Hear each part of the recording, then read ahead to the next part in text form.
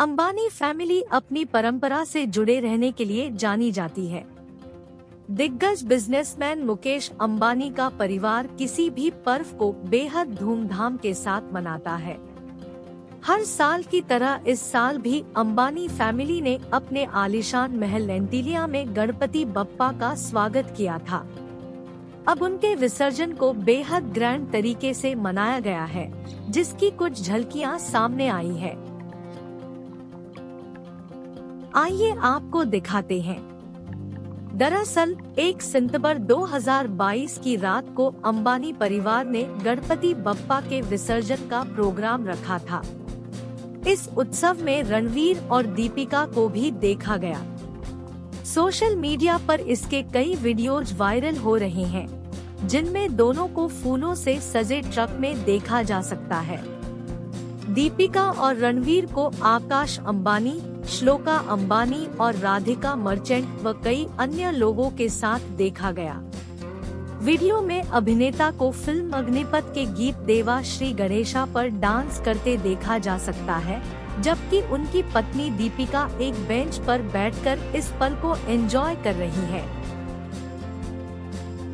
यहाँ देखें रणवीर और दीपिका का वीडियो।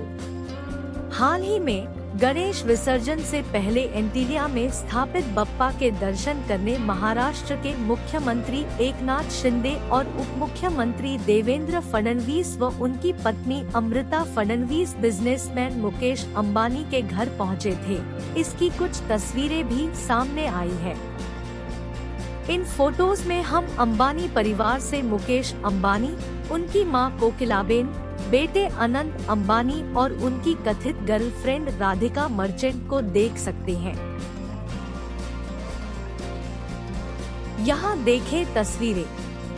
रणवीर सिंह और दीपिका पादुकोण की बात करें तो उन्होंने अपनी पहली फ़िल्म गोलियों की रासलीला रामलीला की शूटिंग के दौरान डेटिंग शुरू की थी और बाद में दोनों ने 14 नवंबर 2018 को इटली के लेक कोमो में पारंपरिक हिंदू, कोंकणी और सिख आनंद कारज समारोहों में शादी कर ली थी।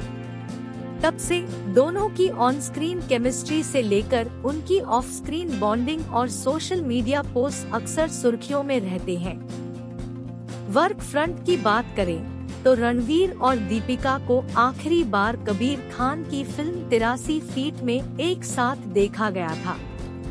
इसके अलावा, वह रणवीर, अगली बार करण जौहर की रोमांटिक ड्रामा फ़िल्म रॉकी और रानी की प्रेम कहानी में दिखाई देंगे। वह रोहित शेट्टी की अपकमिंग फ़िल्म सर्कस में नज़र आएँगे। अभिनेता के पास तमिल फ़िल्म अन्या का हिंदी रीमेक भी है। दूसरी ओर, दीपिका के पास पाइपलाइन में कुछ दिलचस्प प्रोजेक्ट्स हैं। वह जल्द ही सिद्धार्थ आनंद की फ़िल्म पठान में शाहरुख खान और जॉन अब्राहम के साथ नज़र आएँगी इसके अलावा, उनके पास ऋतिक रोशन के साथ फाइटर, प्रभास के साथ प्रोजेक्ट के और अमिताभ बच्चन के साथ द इंटर्न का हिंदी रीमेक भी है